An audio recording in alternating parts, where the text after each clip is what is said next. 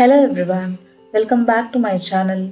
In today's video, we will continue our discussion on cotton, a crop that has shaped civilizations and industries for centuries. If you haven't watched the previous video, make sure to check it out for a comprehensive introduction to cotton.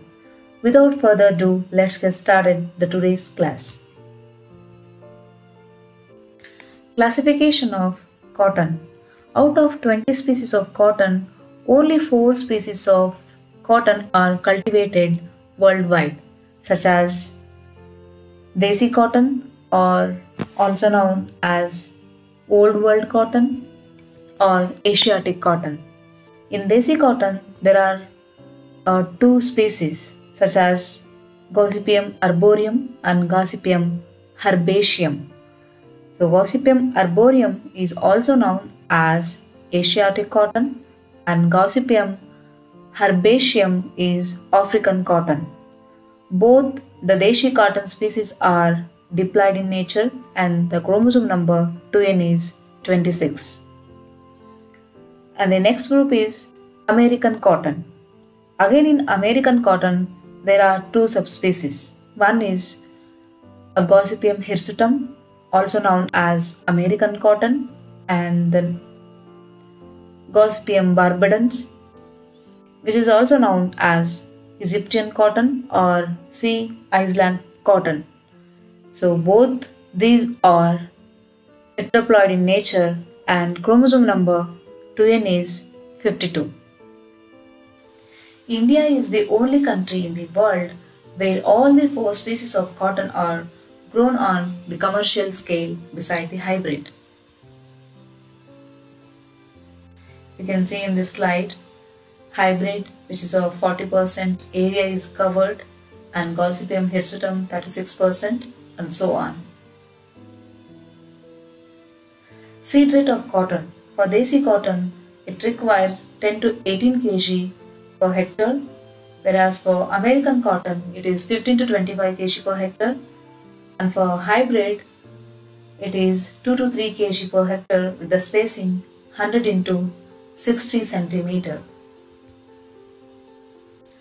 Then the optimum plant population which is required in cotton cultivation is 50 to 80,000 plants per hectare.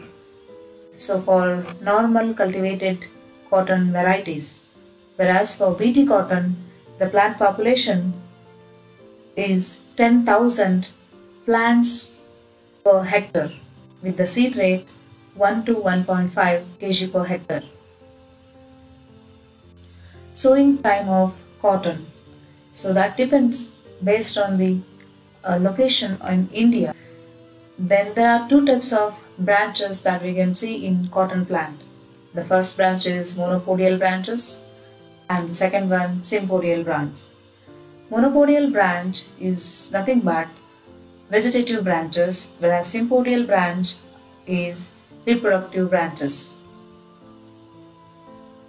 H4 So in the previous video uh, you understood what is this H4.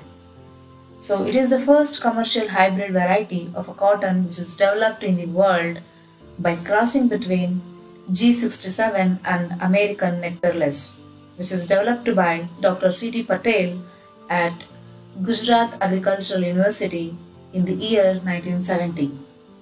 H4 is the first intra-specific hybrid of cotton which is developed by Dr. C.T. Patel. Then Varalakshmi.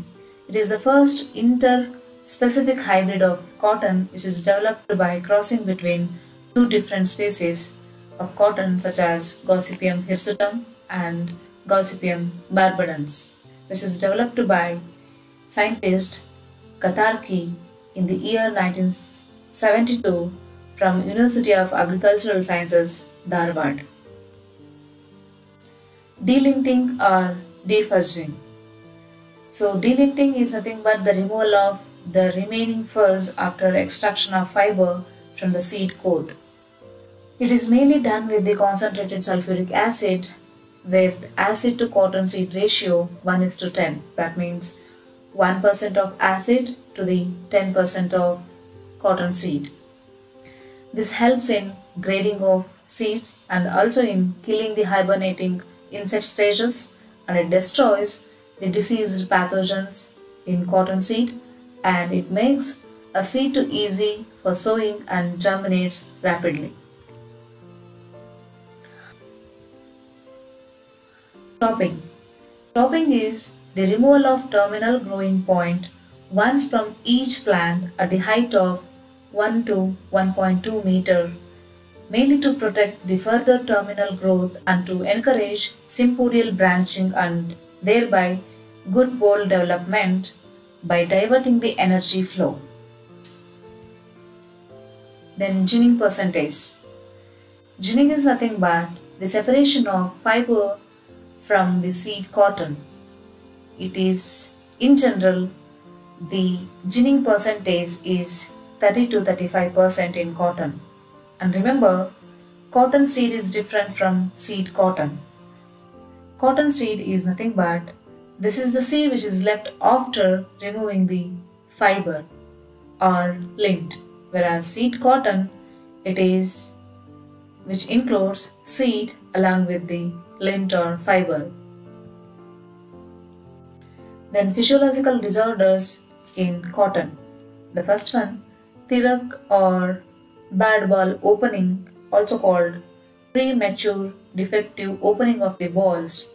This is the disorder which is mainly occurs due to the early sowing or water stress on light sandy or in alkaline soils. And the second disorder, red leaf.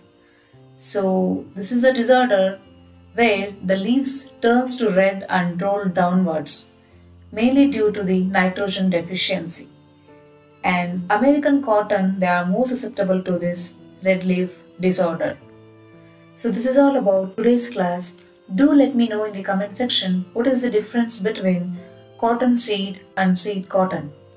So thank you for watching this video. Please do like, share and subscribe this channel.